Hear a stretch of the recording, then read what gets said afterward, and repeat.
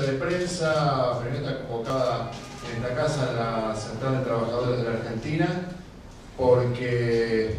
se ha, eh, mañana, el día de mañana, un sindicato de esta central y con todo el respaldo de lo que significa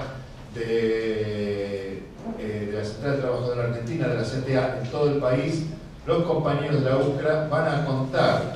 para la medida de fuerza, que es el paro, la movilización, los cortes en todo el país, con eh, los sindicatos de la central, las organizaciones sociales y de todos y cada uno de los afiliados. Eh, este sindicato que pelea por los derechos de los trabajadores, pero también muchas veces tiene que pelear eh, por el no reconocimiento y el aliado de las patronales con las burocracias sindicales, mañana se va a hacer sentir en todo el país para que se respeten sus derechos. La Central de Trabajadores de la Argentina, eh, con todos sus militantes, lo van a estar acompañándose, pero nadie hace nada mejor que, que ellos para que describan las características eh, de la medida de fuerza que van a llevar eh, adelante los compañeros. El motivo de la medida de fuerza, yo le hice entrega a varios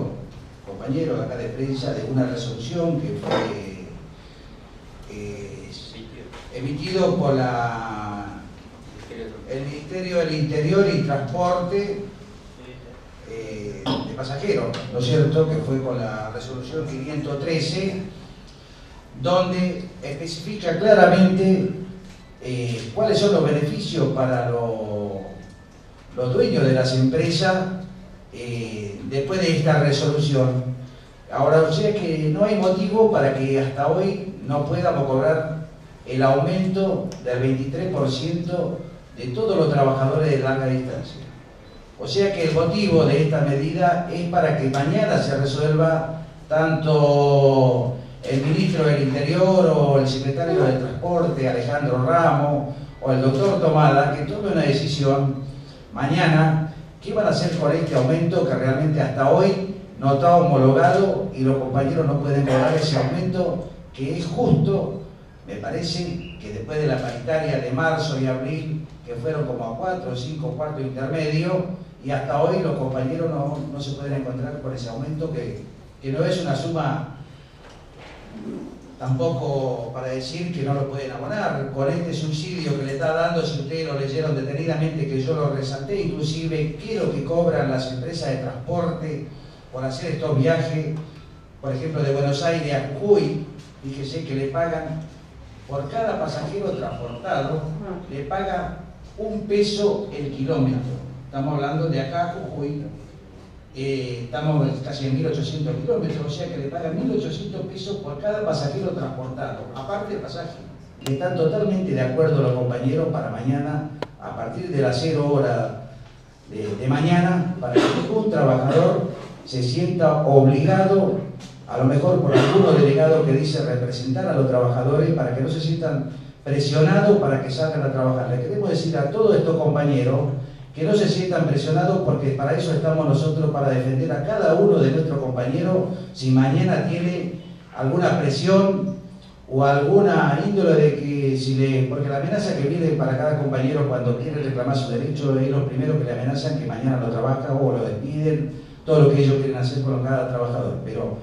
que se sientan mañana más seguros que nunca porque no vamos a dejar a ningún compañero como le dije, desde Jujuy a Tierra del Fuego, siempre mandarlo afiliado o no afiliado a nuestra organización. Ustedes se deben recordar de los cinco días de paro que realizó la UTA y bueno, no se ha logrado destrabar este conflicto que es simplemente el 23% que tiene que cobrar cada uno de nuestros compañeros. O sea que la medida de fuerza es por eso. Está en manos de, del ministro el ministro de Trabajo, el ministro del Interior o el secretario de Transporte más la mañana, esto se resuelve que cuando se paga a los compañeros trabajadores del transporte de larga distancia y bueno, la medida se levanta, no hay ningún problema, depende de ello. Si no, mañana el transporte automotor del pasajero a nivel nacional no se va a mover un micro. Y vamos a estar viendo en algunas terminales importantes como Retiro, como Linier, van a, estar en los compañeros en Salta, van a estar en Santa Fe, Rosario, van a estar en Córdoba, van a estar en Río Negro, van a estar en La Pampa, van a estar en todos los lugares clave si hay algún compañero que se siente presionado para que salgan a trabajar. Mañana de retiro tendría que estar saliendo con un servicio normal, como el fin de semana largo, eh, más o menos más de 2.000 servicios de retiro.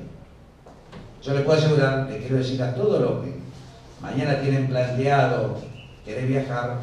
que no se confíen porque realmente si no hay una respuesta favorable, no van a salir los servicios. La negociación está abierta hasta acá, hasta las 0 horas, están abiertas. Ellos llaman que está resuelto el aumento que se va a pagar, que vamos a una fecha de pago, y bueno, depende de eso, del ministro, como lo dije.